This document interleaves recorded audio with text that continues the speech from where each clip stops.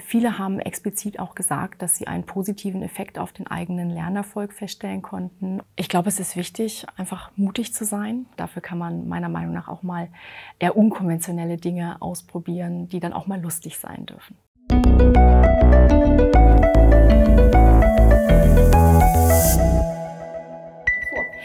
Mein Name ist Sarah Schulz. Ich bin akademische Rätin auf Zeit am Fachbereich Theologie im Institut für Altes Testament und habe im vergangenen Wintersemester ein Flipped Classroom Konzept umgesetzt für das Proseminar Altes Testament mit dem Titel Ex Miro, Exegese mit Miro.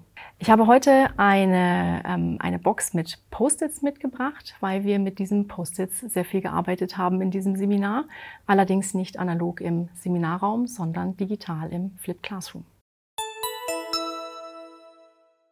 Das Flipped Classroom Konzept ist eine gute Möglichkeit, die Vorteile von analoger Lehre und digitaler Lehre zu verbinden. Und ich denke, das ist ein ganz wichtiges Handlungsfeld äh, für die Weiterentwicklung der akademischen Lehre in den nächsten Jahren. Deswegen ähm, ja, bin ich sehr überzeugt von diesem Flipped Classroom Ansatz und verwende den auch in, mittlerweile in sehr vielen meiner, meiner Lehrveranstaltungen.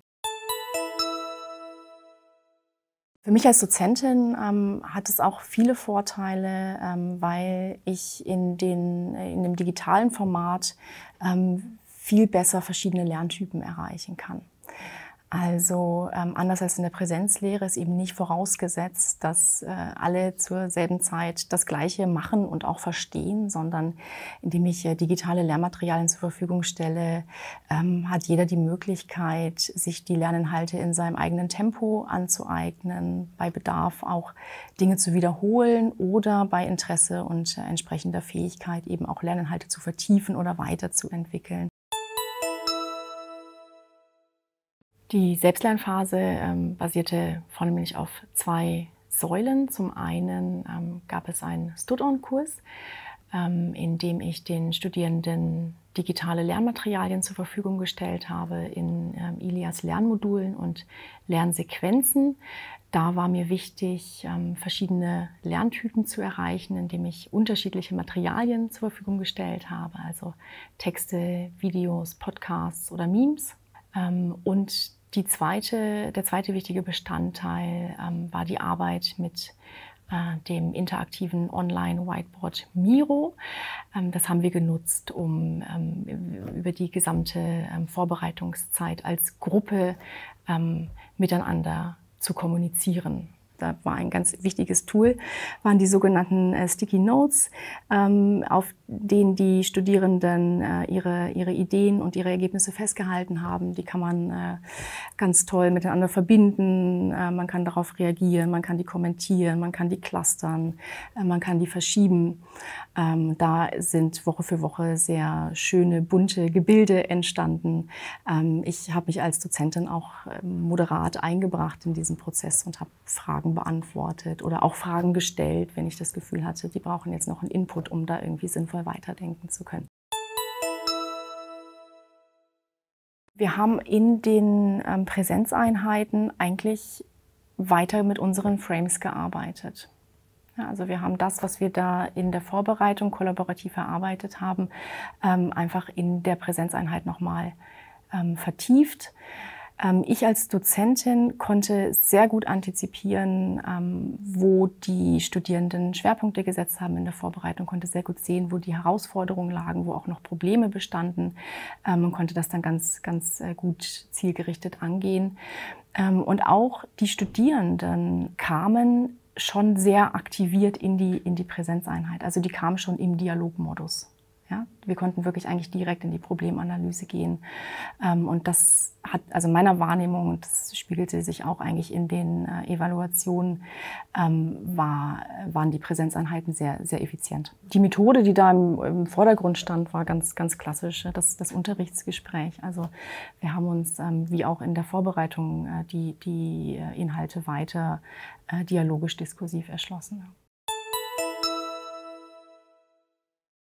Ich habe diese Lehrveranstaltung als sehr stark interaktive Lehrveranstaltung konzipiert und habe auch den Eindruck, dass das in der Umsetzung ganz, ganz gut geklappt hat.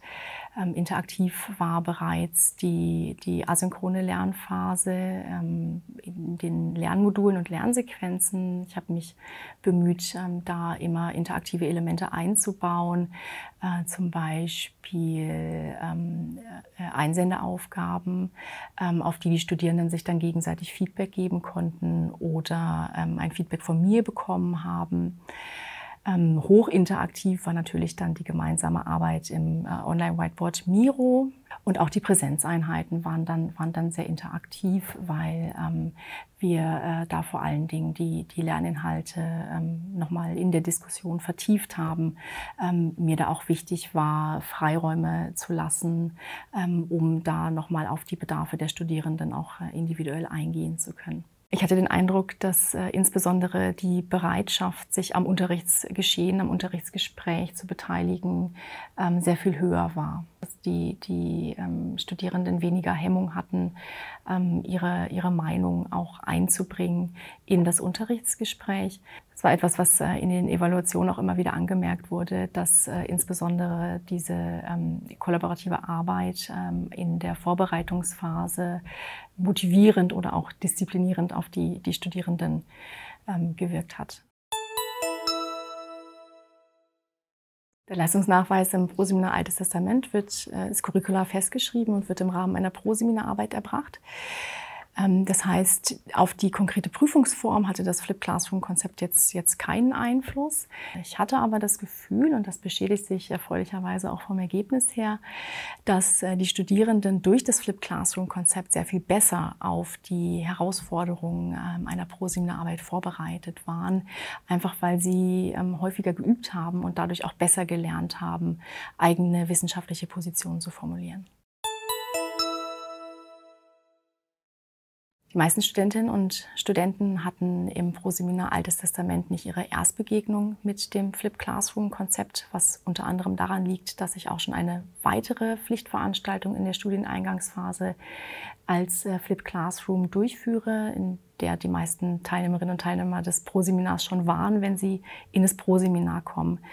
In den Evaluationen wurde ähm, sehr häufig äh, angemerkt, dass ähm, auch die Studierenden gemerkt und verstanden haben, dass Flip Classroom gut geeignet ist, um die Vorteile von analoger und digitaler Lehre zu verbinden.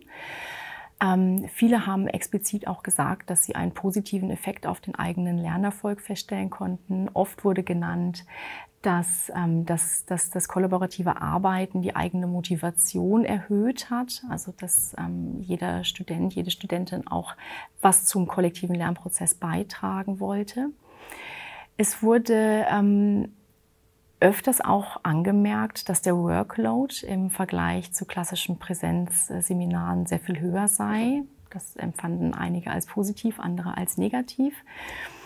Sehr interessant fand ich auch, dass mehrere Studierende zurückgemeldet haben, dass äh, das Konzept es ermöglicht, dass man auch mal unvorbereitet zu einer Seminarsitzung erscheint und trotzdem noch gewinnbringend auch an, am Unterrichtsgeschehen teilnehmen kann. Das liegt daran, dass der Lernprozess ähm, über Miro einfach sehr transparent ist und jeder Teilnehmer des Seminars die Möglichkeit hat, sich da recht kurzfristig nochmal einen Überblick über den, den äh, Gruppenlernstand zu verschaffen.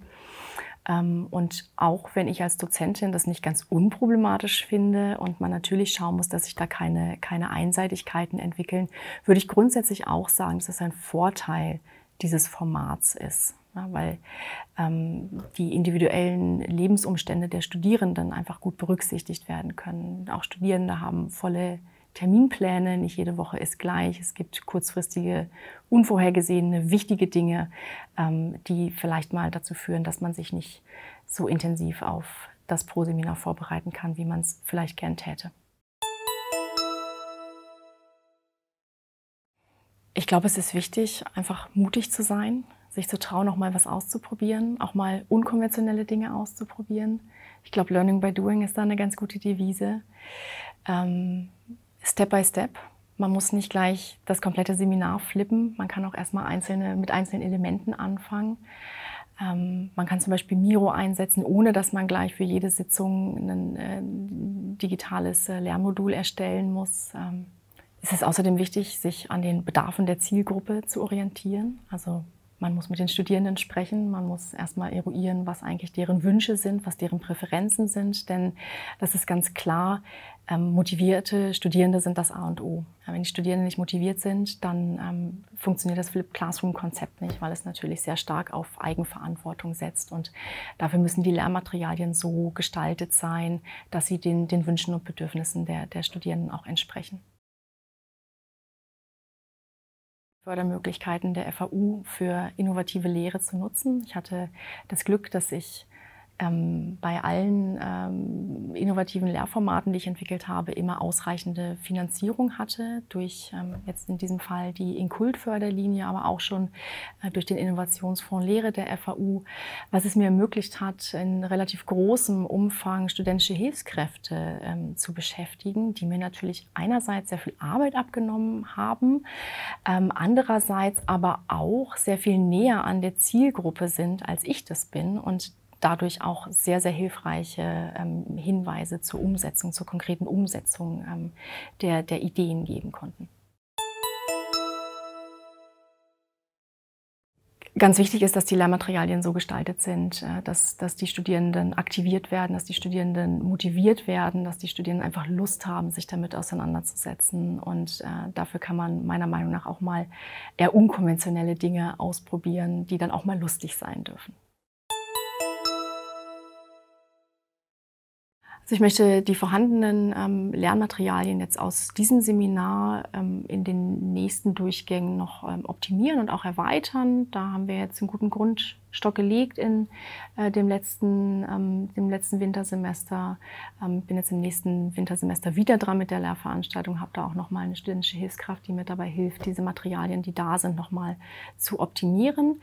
Angedacht ist, äh, dass ich für dieses konkrete Seminar, für diese konkrete Lehrveranstaltung auch noch ein E-Portfolio entwickle ähm, mit Miro, äh, das dann als unbenoteter Leistungsnachweis erbracht werden kann von den Studierenden. Ich hatte jetzt im letzten Durchgang einfach ähm, keine, keine Teilnehmer, ähm, für die das in Frage kam.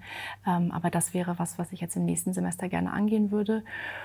Und da ich jetzt ähm, im Zusammenhang von seminaristischen Lehrveranstaltungen schon sehr viel positive Erfahrungen gemacht habe mit dem Flip Classroom Konzept, würde ich als nächstes gerne auch mal Vorlesungen andenken und ähm, versuchen auch Vorlesungen nochmal ähm, konkreter vom Flip Classroom Konzept herzudenken, ohne dass das bedeuten muss, dass ich da gleich komplette Vorlesungen im Flip Classroom durchführe.